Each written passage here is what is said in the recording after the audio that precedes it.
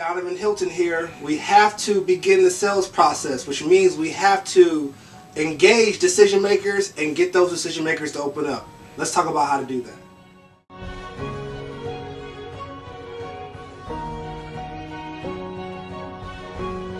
Okay, great. So the first step to the sales pipeline is to get your prospects to become engaged with you in conversation and get them to open up to be able to introduce your product or service.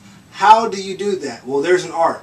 First of all, understand if you have a product or service that you have to sell, that's not the product or service that you want to represent. You want to choose a product or service that sells itself based upon the current needs in the marketplace. And so therefore, all you're doing is introducing a true solution to prospects that don't know your product or service exists and are in need of your product or service.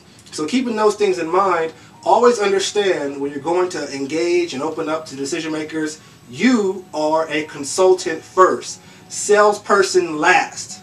And uh, what I mean by that is your job is to, one, um, focus on decreasing the guard of that decision maker because they are always used to being sold, being told what to do, and everybody's coming to them with advertising opportunities. So they're already thinking the worst in the fact that you don't have their best interest in mind.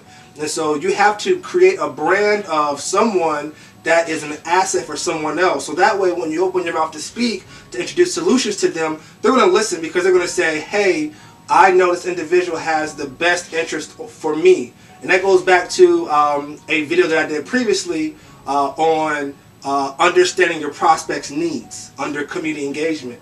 And so bringing it back all the way around, you want to understand that you're the consultant, you're bringing information out. So ultimately, you do want to introduce your service, but you want to begin the conversation with, uh, when you're dealing with your prospects is, so how is business going? Just keep it real broad. How's business going? And obviously, you want to keep the conversation focused on the service that you provide or the product that you provide. How are business How is business going?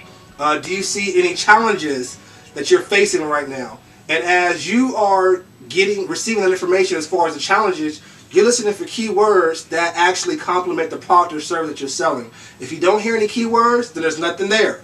Um, and then at the same time, after you want to find out what those challenges are, uh, and again, you want to know that, okay, I'm in marketing, I'm in sales, I'm in human resource, I'm in operations, I'm in finance, I'm in information technology, uh, whatever have you, know what particular department that you're representing so you know what keywords to listen to as you're looking to introduce your product or service. So as they talk about their challenges, you do want to let them know, and me being in marketing and sales, hey, well, I am a skilled grassroots marketing expert. And even though we're talking marketing, is a very specific niche that I provide. Grassroots marketing, which is face-to-face, local, territorial marketing. It's a big difference compared to your traditional marketing.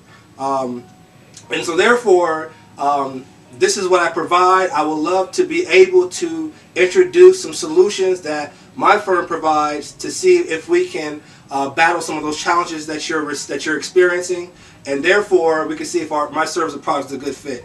So ultimately, uh, you have to be a good listener, but ultimately, uh, when you're looking to introduce your product or service, you want to be someone that's pulling information out by asking questions. When you're able to do that, you can find the right time in grace uh, which is effortless beauty, naturally to introduce your service or product because it's a product or service that sells itself.